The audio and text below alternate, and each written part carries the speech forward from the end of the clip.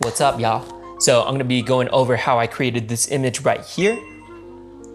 Actually, let's pop it up way bigger, right here. It's not gonna be a complete video tutorial, but it's gonna be an in-depth breakdown of how I did each step, a couple of my settings for everything, but I'm just going over the general steps that I took to come up with the final image.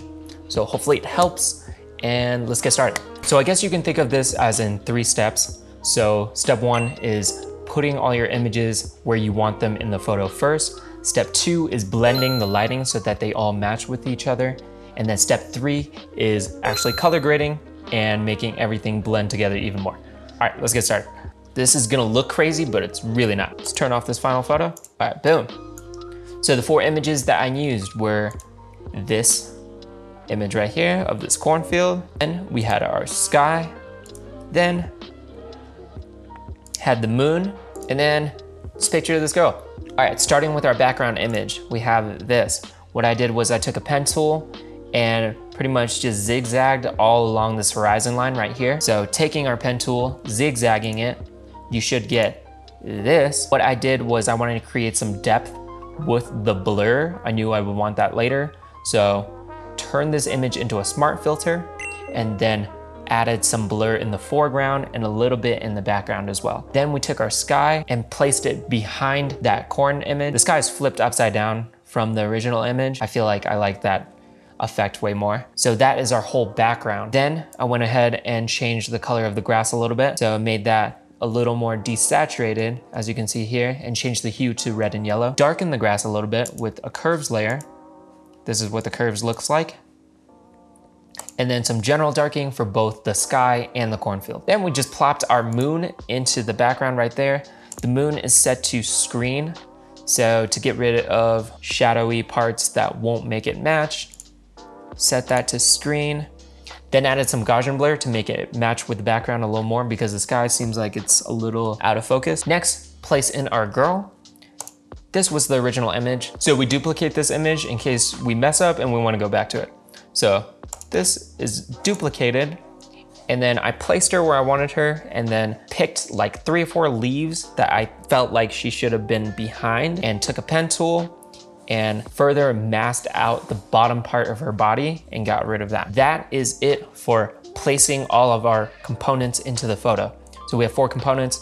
We have that first cornfield, sky, place the moon, and now the girl where we wanted her. So what I did was a little bit of adjustments here on the girl, but we're gonna go ahead and further merge her in with everything later as well. So all of my images are placed where I wanted them to. So what we have up here is a black and white help layer. I like having this so then you can see the differences in between lighting between all of your components. So clearly she's super bright compared to everything else in the image, so we're gonna have to fix that. This is just saturation all the way down. Having that on Use a curves layer, brought down the highlights on her. If you just hold Alt left click, you can snap it to the layer below it. Next, we have a levels adjustment. Turn that on, so darken the midtones. Next, we have a hue saturation. Let me turn off this black and white layer. Boom. Hue saturation, bring down saturation just a little bit on her skin. And honestly, you can barely notice some more darkening on her right there. This is what the curves looks like. I just took the middle, brought it down, a little bit of darkening. Okay, and then that will be it. The next part is doing all of our color grading and further color matching with the background. This looks crazy, but it's not.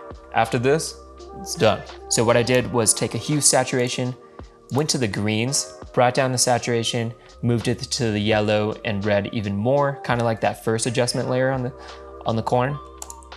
That turns it into that.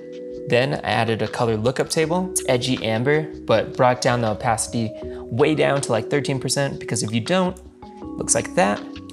So it's just like a slight tint. So this is where most of the adjustments came from, which is merging everything that we have so far into a new layer and then turning it into a smart filter and adding a camera raw filter. It's gonna look crazy, but I'm gonna go through it.